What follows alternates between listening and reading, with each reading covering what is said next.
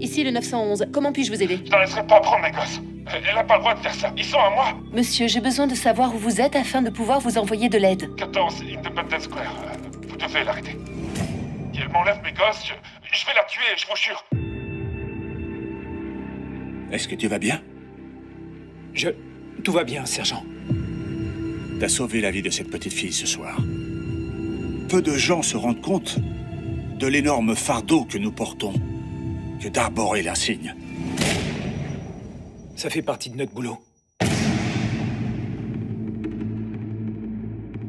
Tu ferais bien de te ramener. Ils veulent ouvrir une enquête. Nous avons reçu des informations déroutantes. L'appel était un canular.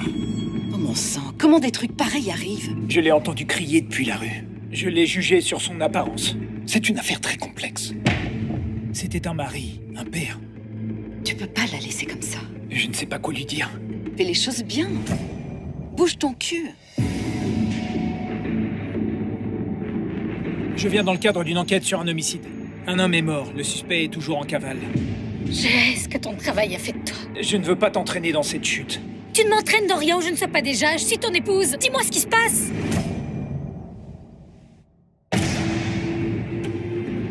S'il part sans autorisation, je pourrais pas lui venir en aide, moi.